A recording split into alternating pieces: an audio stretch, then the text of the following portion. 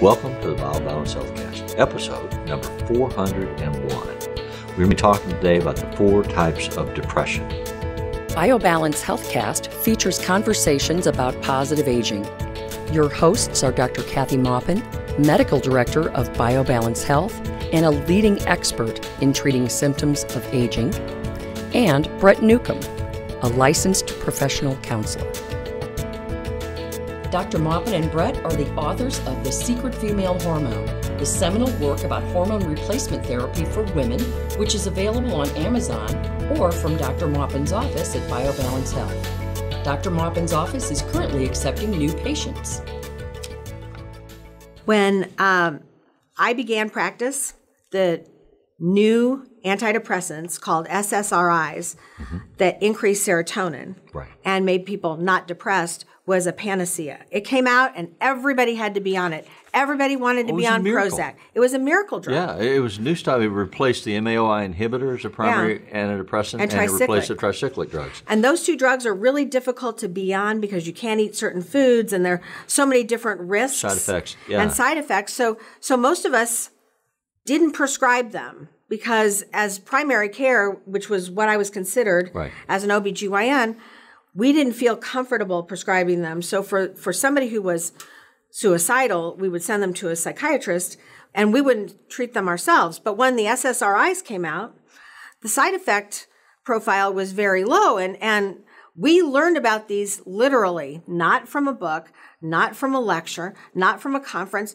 The drug reps would come in and say, here, here's a new thing. And you just give them this dose. And, and it was like one size fits all and everybody's happy and they don't lose, they don't gain weight. It was kind of, it's non addictive. It, it, and, and it increases serotonin. And then they told us serotonin was when serotonin's low in your brain, that makes you depressed. And that was like the only kind of depression they talked about. Right. So so we all jumped on the bandwagon. Because SSRI is serotonin reuptake inhibitor. Which it's a way to regulate the amount of serotonin that stays in what's called a synaptic cleft. Mm-hmm. The, the between two nerves. The yeah, the gap between two nerves, and it's filled with liquid. And messages, chemical and electronic messages, go from the end of one set of nerves over to the receptor side mm-hmm. on the next set. And the medium that they swim through is primarily serotonin. Mm-hmm. That's how they. That's their communication. So there's serotonin in your brain. There's mm-hmm. dopamine in your brain. There's epinephrine and norepinephrine in your brain. There's also endorphins in your brain. They're all chemicals that communicate different things. Mm-hmm. You know, when I was in medical school, so many years ago, it was 40 years ago. It was like having a channel selector. Yeah, but you know, they told us it was an electricity. It was electricity. Yeah. It was just like an electrical charge. It, but that's not that's not water and that's not fluid. That's actually just ions going between two points. It's not electricity. It's actually a chemical that's that oh, yeah. is bathing each well, one of it, your nerves. It's the way nerve signals transmit.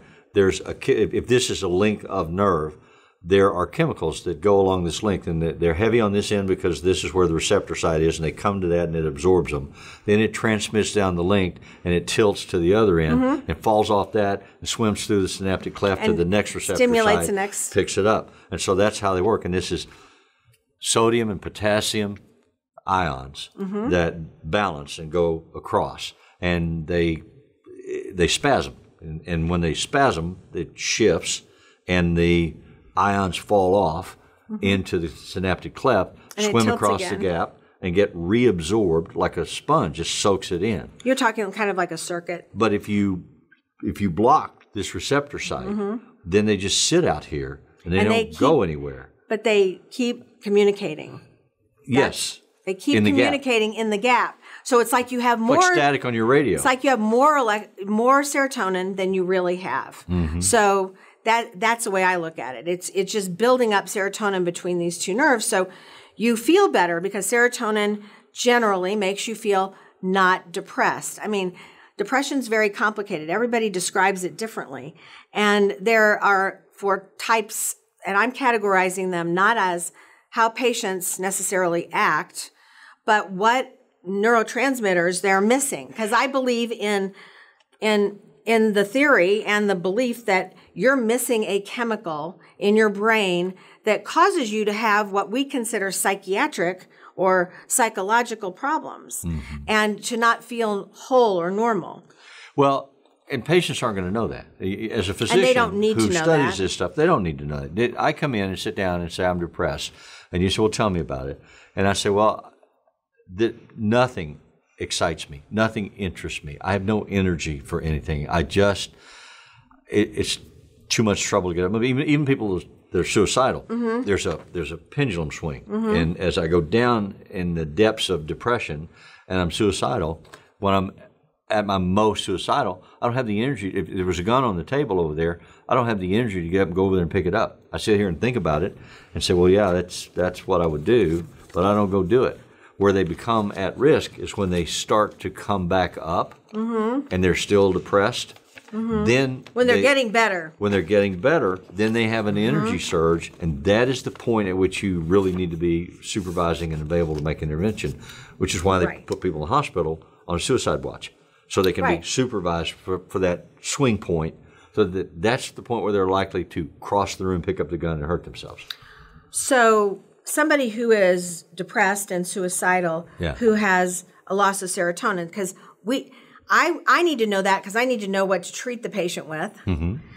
You may need to know that because you may have been on one antidepressant and felt like it wasn't working, and maybe you needed a whole different family of antidepressants that worked on a different neurotransmitter, which is why we're talking about it today. Right. So if somebody was suicidal because of a lack of serotonin, Right.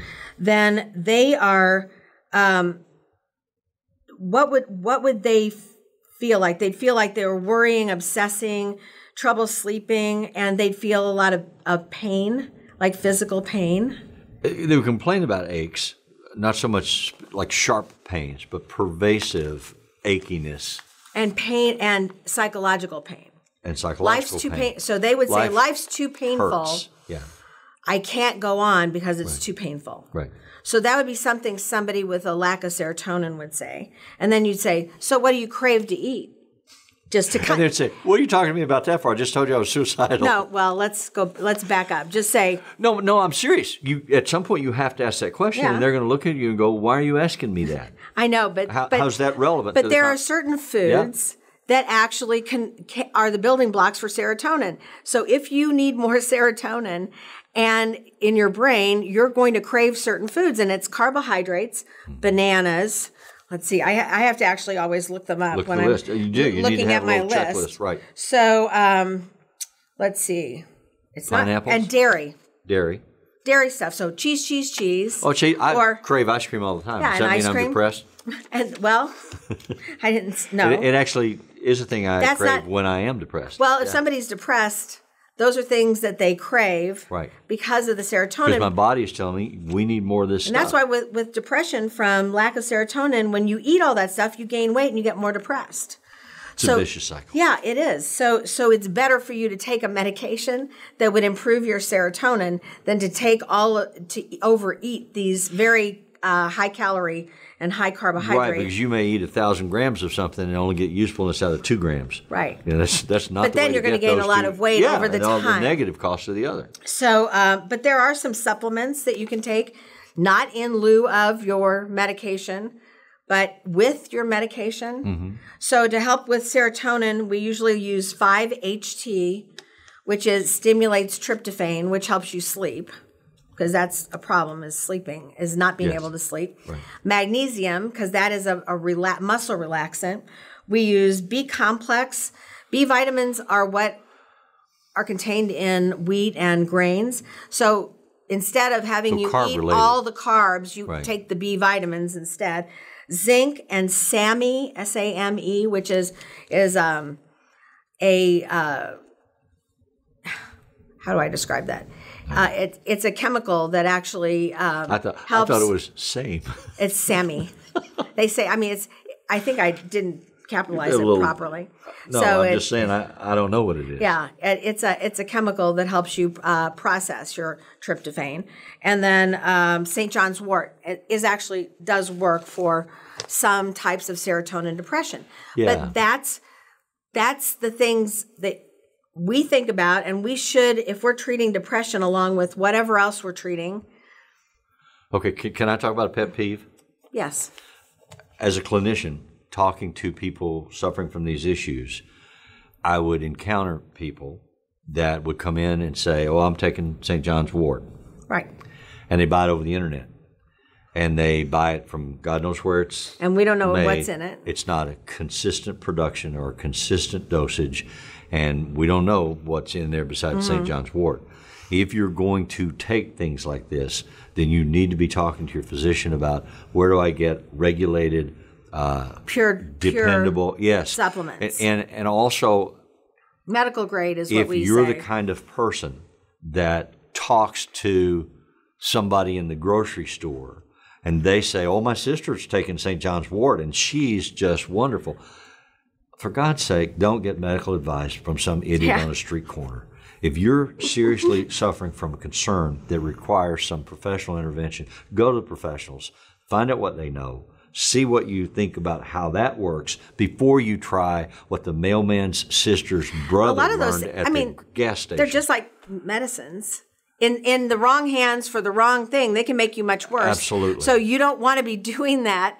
You don't want to be taking something for a depression caused by low serotonin when you have low dopamine. I mean, it's not the same thing. It that's what we're trying to delineate. It's Yes. it's a different whole different chemical and profile. we're learning more. I mean, the, the part of the point of the conversation is 30 years ago, this information wasn't available. We It was didn't know. trial was and a- error. was- well, actually, Kathy and I were talking about this before we started the camera. When you see a thousand patients a year and 300 of them are suffering from depression, you build a sense what what in my profession Mm-hmm. we call the unthought known. You build an accumulated weight of information based on the experience of the people that you see that that guide you in your treatment protocols. Mm-hmm. It, it says more of my people are getting better when we do this, so let's That's do more of this. And that's not necessarily in a document that you got from the FDA or a class that you took in college. It's just part of the experience of Mm-hmm. the practice of medicine. professionally. Yes. Yeah. Practice of medicine, practice of law does the same thing. Yes. So you they write up things that worked, that didn't, don't do this again. Right. You know, so we would do the same thing. At first all we had was Prozac and then they added Zoloft and then they added all these other serotonin reuptake inhibitors and then it was a little dicey. What do we do? Do we, you know, do we use this one? And then it was just if that doesn't Trial work, we and use another. We use another until we Or whatever would- the most recent drug salesman handed you and said, Right. this is the best stuff. This is the new stuff. Right. I think my mentality was different then because I was so busy Yeah. and I had so little time to research anything. Well, tell the It was- story about it was your difficult. patient that was in pain and was depressed, and one of his manifestations was he was feeling a lot of aches and pains. So he he was um he was an al- the one that is an alcoholic. Mm-hmm. So he he's a, um, a successfully treated alcoholic who doesn't drink, and he had a hormone imbalance. I treated that. That made him a little better, but not as much better as it usually makes people. Then um, we tre- I treated his uh, or his family doctor changed his antidepressant because he was still depressed. Testosterone didn't help, and his antidepressant didn't help, and he changed him to a combined dopamine and serotonin reuptake inhibitor, which is Wellbutrin, which is it's really probably where you start with addicted people who have had Addictions, addictions, right. because they have addiction is a, lot, a lack or a low sensitivity, excuse me, high sensitivity to dopamine. So and and a lack of dopamine. So he had had that change, but he still just hurt all over. So our answer to that was that his uh, endorphins were still low. We can't test them, but we have to. We don't currently have We a way to don't. do. We don't have a test for that. But endorphins are the feel good hormones. So I mean, feel good neurotransmitters. They they give you. They go to the opiate receptors and fill the opiate receptors and make you feel not in pain. So we Is did. that like a runner's high? well, endorphins give you a runner's high, Mm-hmm. but when Run, runners, when they run extensively, reach a point of pain in their body where there's literally they feel a switch throw, Yeah. and they feel a sense of euphoria Right. and and high energy from the running. the running makes their brain make more endorphins, mm-hmm. and then the endorphins Saturate make them not feel their pain, which Yeah. is a good and a bad thing. We have pain for a reason. It's an em- oh. it's an emergency sign There's a woman that you should stop doing something. my house that looks like she is in agony. Everybody I see walk she's like, across my in front of my house, they all look Oh like they're gosh. they're in pain. I want to stop her and say, honey, you don't, there are other answers. But but it's possible they're using these endorphins from running Yeah. to solve their depression problem, their Yeah, pain oh, yeah, problem, their addiction, whatever. It's almost an addiction to running. But the problem with addictions is you have to have more and, And more, more and, and more. more. of the substance to get the same level of release. Right. And at some point, no matter how much more you take, you can't get a, a level of release.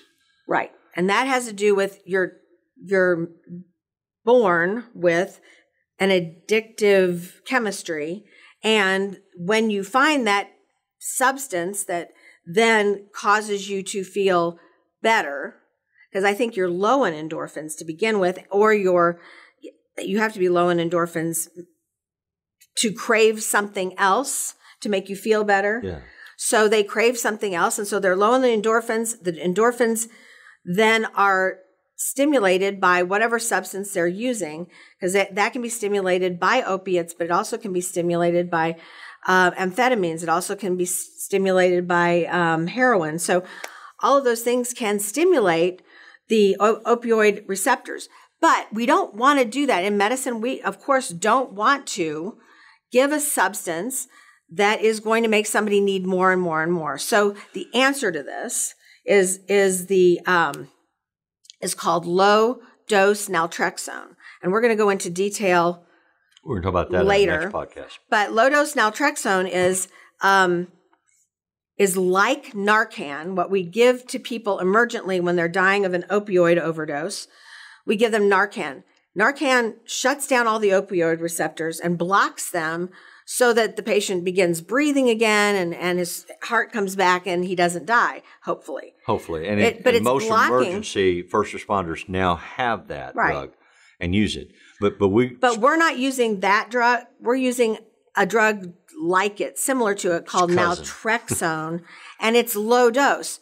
And so, how it works is you take a tiny dose before you go to bed, and it blocks your receptors, your op- opioid receptors, and it fools your brain into making more endorphins. So, your brain is fooled. The endorphins that make you feel good go up for the whole next day. Then you do it again the next night, but you don't keep craving more and more. It just makes you feel normal. and overloading on carbs and gaining weight. Right, and you don't do these other things that make you that make you worse. There's- there's but this more. helped this patient. We talked about uh, four types of depression. Mm-hmm. We talked about serotonin deficiency. We've talked about dopamine deficiency, Mm-hmm. epinephrine, norepinephrine, uh, endorphin deficiency. But you also have listed hormone deficiencies. And that's let's kind of the fifth. that. Yeah. That's the fifth because there's um, when we treat patients with depression, oftentimes they can decrease the dose of their antidepressants if we give testosterone. So when we give testosterone pellets, it it elevates the level of to a certain point endorphins, dopamine, uh, and and oxytocin in particular, yeah. But but it stimulates oxytocin. Oxytocin gives you that feeling of bonding or loving or or it's like a familial hormone. We call The it feel-good hormone, Yeah, yeah. it's one of the feel good hormones. Yeah. You know, and it's also the it's also the um, uh, climax hormone. So it is one of those.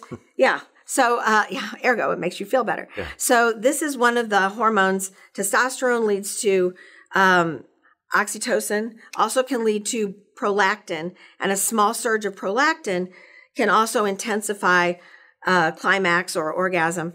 And, and but then prolactin also causes you to have like a resting period in between sessions of, of sex. But but these are also hormonal neurotransmitters that actually help all of your other chemical transmitters become normal, not high, not low, but normal. Yeah. So, So- part part of the reason we're having this conversation, and the next one that we're going to have, is to say that there are new understandings about the cause, the existence, the treatment for depression mm-hmm. that have evolved over the last 10 or 15 years. More and more is being learned, better treatments are being derived. Many, many people suffer from depression in part because we live in such a high stress environment. And stress burns out some of your, your brain chemistry And, and so we're learning more about chemistry and brain chemistry in particular, the neurotransmitters, the endorphins, the synaptic cleft, all that stuff. We also have all this stuff in our environment that's blocking our toxins. uh, the toxins that are Yes. blocking our receptors in our brain from our neurotransmitters. Even if we're making them, we don't feel them because you can make them, but if they can't get accepted at this end of the of the line, it doesn't do anything. So so that's we also that's part of that cleansing thing and getting healthier. Yes, and so we're learning more about it. We want you to know more about it, and we want you to know some of the specifics so that you can search for what would be beneficial to you or recognize things that you can talk to your doctor about. Come back for the next podcast when we talk about low dose naltrexone mm-hmm. and and the new information that we're learning about it. Thank you for listening. Thank you. Email your questions or comments to podcast at biobalancehealth.com.